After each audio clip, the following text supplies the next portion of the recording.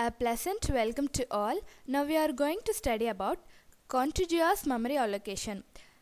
Video lecture and e-content created by R.D. Sivakumar, MSc MPhil MTech, Assistant Professor of Computer Science and Assistant Professor and Head Department of MCOM CA, Ayya Nadar Janaki Ammal College, Sivakasi. Mobile 099440 42243. Email sivamscsit at gmail.com. Website www.rdsivakumar.blogspot.in.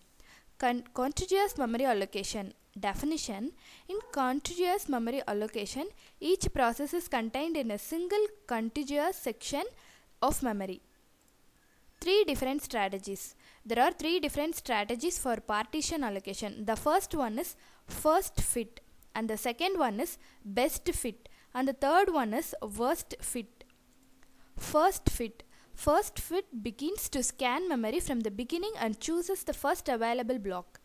The advantages is search time is small.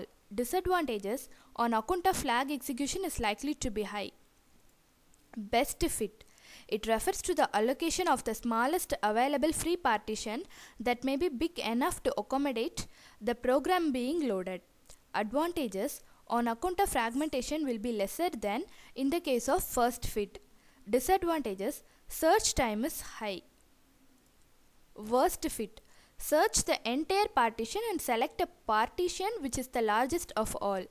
Disadvantages search time is high. Fragmentation after loading the program, some space may be left unoccupied. This space is wasted and it is called as external fragmentation.